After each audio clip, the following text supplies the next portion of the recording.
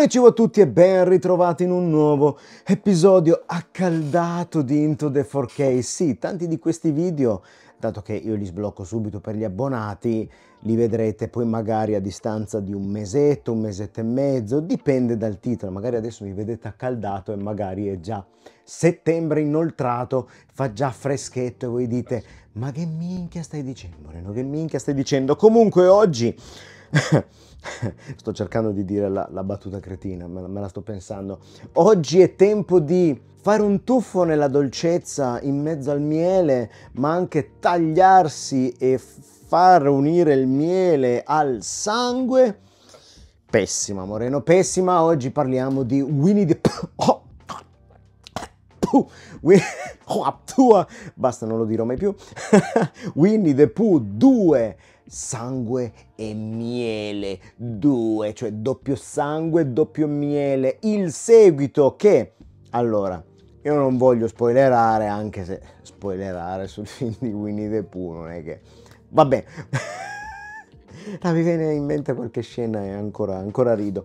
Comunque il seguito dell'altro capolavoro Winnie the Pooh e ehm, allora diciamo che in questo capitolo l'altro era già uscito in 4K, diciamo che in questo capitolo lo stesso regista del primo capitolo che adesso insieme all'attore che fa Christopher Robin, perché nel primo film era un altro attore, qui l'attore che fa Christopher Robin è anche il produttore della pellicola, pellicola è digitale, non è una pellicola, del file video hanno uh, creato il Twisted Child Universe, insomma un nuovo universo con Pinocchio, anche versione lui Dark, eccetera, eccetera. E adesso, se guardate un extra Adesso parte la produzione degli altri film, hanno già fatto quello di Bambi, che c'è Bambi impazzito che incorna tutti, stacca teste a tutti, eccetera, eccetera.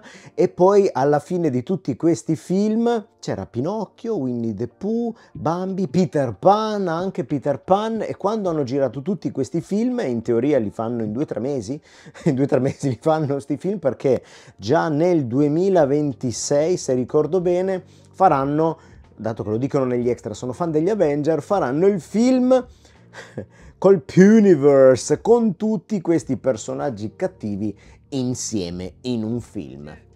Capolavoro. Comunque, Uh, al primo Winnie the Pooh gli era andata bene, il film era costato uno sputo e aveva guadagnato insomma qualche milione di dollari, l'aveva guadagnato nei cinema, quindi era tutto guadagno. Il secondo non è andato bene come il primo, non è andato bene come il primo, però comunque è un seguito che non è un seguito perché all'interno del film, dopo i fatti del primo film, hanno girato un po' come Scream, hanno fatto un film vero e voi vedete all'interno di un televisore le sequenze del primo film, perché alla fine il primo film che noi abbiamo visto è diventato il film nel film nel secondo film. Quindi questo è quello eh, che prosegue la storia vera. Quindi noi la parte vera del primo, del, del primo film, con questo attore che fa Christopher Robin, noi non l'abbiamo vista. Noi abbiamo visto il film tratto dalla storia vera un po' intortante, vero? Un po' intortante. Comunque, il salto di regia c'è, non è proprio molto amatoriale come il primo film, non lo è,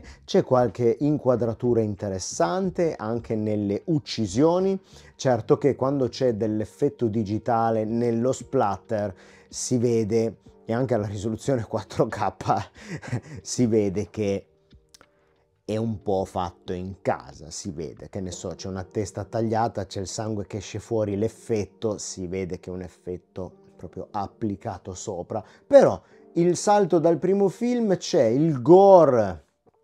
C'è, ma per me non è che, cioè, ho visto altre cose, Terrifier gli è proprio sopra, Terrifier assolutamente gli è sopra, però diciamo che come recitazione dei personaggi, regia, già inizia a somigliare al secondo Terrifier, quello che è uscito in 4K, come regia, insomma ci sta, è un film abbastanza costruito, c'è anche il flashback, c'è anche la backstory sul perché Winnie the Pooh è diventato così, c'è anche Tigro che non fa così, ma lui graffia tutta la faccia, la spolpa tutta la spolpa e c'è una bella sequenza in una discoteca, che poi guardate dietro le quinte, sono due stanze, è incredibile, e c'è una buona sequenza nella discoteca e ovviamente arriverà il 3, ma non prima degli altri film con Peter Pan, Pinocchio, eccetera, eccetera, e il film che riunisce tutti. Poi dopo ci sarà il terzo appuntamento con Winnie the Pooh. Secondo me se ci arrivano, se ci arrivano, perché col primo gli è andata bene, col secondo non è che gli è andata tanto bene come, come, guadagno. Comunque ha un suo seguito questo film, vediamo dove andrà. Passiamo velocemente al video, il video è registrato in digitale, master 4K, qui abbiamo anche il Dolby Vision e un disco sia tedesco sia italiano per la Plyon, all'inizio potete scegliere menu tedesco o menu italiano, quindi hanno fatto un disc sia per Plyon Germania che Plyon Italia. Comunque il video è... La fotografia è migliore in questo film, le luci, è migliore la fotografia. Ci hanno provato di più, ci hanno provato di più. Il primo era più buttiamo la cinepresa lì, digitale, pura al 100% e vi avevo detto che avevano usato la Red Helium che registrava a 6-8K, infatti il video del primo film per quanto non abbia una fotografia ricercata, insomma il micro dettaglio, cioè è, sembrava il filmato delle vacanze ultra dettagliato, non si può dire di no. Nel secondo capitolo questo non avviene, mi sa che hanno cambiato cineprese, non sono riuscito a capire che cineprese hanno usato, anche nel dietro le quinte non l'ho beccato il modello, le riprese sono sempre a 4K, però hanno applicato una leggera grana di fondo, una, una grana fina e anche l'immagine non è così nitida come quella del primo film. Hanno voluto farla assomigliare un pochino alla pellicola però il micro dettaglio c'è e anzi in quelle scene in CGI, quegli effetti, c'è una cosa che fa così, un pum esplode, quella è ultra dettagliata, perché si vede che non ci hanno applicato la grana finta sopra ed è più dettagliata e liscia e chiara rispetto al resto dell'immagine.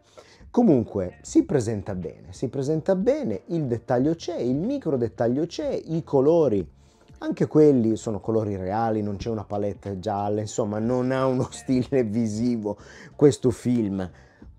Però è buono da vedere, è buono, è buono, ma se vi aspettate l'immagine del primo film, che quella era proprio dettagliatissima, proprio pulitissima, non è questo il caso. Qui hanno cercato di fare qualcosa in più e ho apprezzato, ho apprezzato l'impegno e comunque il dettaglio c'è, il micro dettaglio c'è e anzi tra le due a me è piaciuta più questa immagine come fotografia, almeno sembra già più un, un film. L'altro sembrava quasi un filmatino delle vacanze, diciamo. Però tra il primo e il secondo, forse eh, a chi piace il dettaglio è meglio il primo film. Ma passando all'audio, DTS HD Master Audio inglese e italiano, sono a pari merito, il doppiaggio italiano mm, non è piaciuto tanto il doppiaggio proprio, non la qualità della voce, il doppiaggio, la qualità sonora ogni tanto c'è qualche effettino quando sono nella discoteca che, che succede di tutto, la musica prevalentemente davanti, e qualche rumore quando sono nel bosco dei cento agri no, che poi non ci vanno neanche nel bosco di 100 acri, insomma quando sono in mezzo alla foresta, in mezzo al bosco c'è qualche suono, qualche sparo interessante, qualche intervento del subwoofer, un mix nella media, insomma serve per vedere il film, ma basta, insomma, niente di eclatante, niente di eclatante. Poi passando agli extra sono più o meno lo stesso numero del primo film, c'è un making of fatto con tutte riprese quasi da cellulare. Oh, sto facendo il video, stai facendo il video, stai facendo il video. Poi ce n'è un altro più lungo, beh, abbastanza lungo, sono 40 e passa minuti o 50 e sono tutte quelle riprese del cellulare fatte nel set, poi uno speciale sulla musica che ha iniziato a a capire, a studiare prima eh, i nuovi strumenti, cosa poter usare per creare la colonna sonora che legava le immagini del film. Cioè, piange pure mia figlia, se avete sentito. Sta piangendo pure mia figlia per quello che ho detto io. E poi cos'è che non mi ricordo? Scene eliminate, ma lasciamole lì. Intervista al cast, intervista a Scott Chambers, sì, il regista e l'attore che fa Christopher Robin, che sarà anche il regista di non Bambi, di Peter Pan. Bambi l'hanno già fatto, Peter Pan. Peter Pan è lui il regista e lui è Rice Frake Waterfield che è il regista, sono amici, hanno fatto anche il primo film, lui l'ha prodotto ed è una bella intervista, quindi c'è anche una breve preview su Bambi che forse avevamo già visto in rete, forse l'avevamo già visto in rete, io me l'ero persa. E, ah no, quando parlano del Puniverse, poi sul set con The Critics Man, un presumo youtuber tedesco che è andato, è stato ospitato nei set in Inghilterra. Hanno fatto anche qualcosa ai Pinewood Studios, qualcosa, mi sembra di aver letto Pinewood Studios, qualcosa all'interno dei Pinewood Studios l'hanno fatta ai Pinewood Studios per Winnie the Pooh e comunque ragazzi non è un film come il primo, io ci scherzo sopra, però a me piace che abbiano voluto fare qualcosa. Certo che adesso i diritti sono liberi di Winnie the Pooh, eh, il primo Steamboat Willie, Peter Pan, eccetera, eccetera, e si buttano a fare questi horror.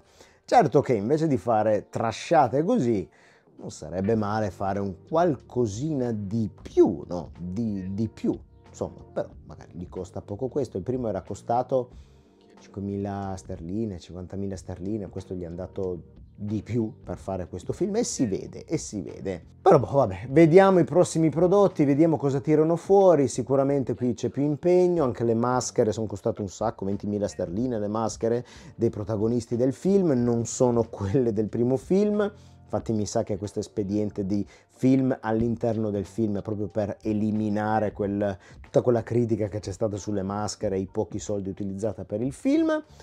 Vediamo dove ci porterà ragazzi, vediamo dove ci porterà. Terrifier era partito così, adesso io sinceramente aspetto il capitolo 3 al cinema a ottobre, che lo faranno al cinema, spero che non sarà censurato e me lo voglio andare a vedere. C'è già il mio amico Alberto, siamo lì pronti in prima fila per andare a vederci Terrifier 3 al cinema.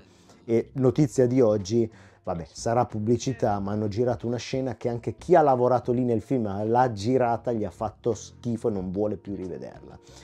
E a me sale l'hype perché voglio vederla. Terrifier. cioè, boh mi piace Terrifier, è nato un amore per eh, Heart il Clown, è nato un amore. Eh, comunque chiudiamo questa recensione, penso in pillole, di Winnie the Pooh, Sangue e Miele 2, un film che consiglio? Allora, è un po' meglio del primo, è un film come tanti altri, solo che c'è Winnie the Pooh, però boh, sì ragazzi, ma sì, anzi, io non bevo più oramai da anni, sono astemio e vabbè, però questo è il film perfetto, basandomi sulle mie esperienze passate, quando vi prendete una bella inciuccatina, siete con gli amici, due patatine, due snack e vi sparate questo film. Questo è perfetto. In questa situazione è perfetto. Ma noi ci rivediamo in un prossimo episodio di Into the 4K, quindi sayonara a tutti e bye bye. Adesso posso aprire Genji che vada fuori dalla stanza. Bye bye.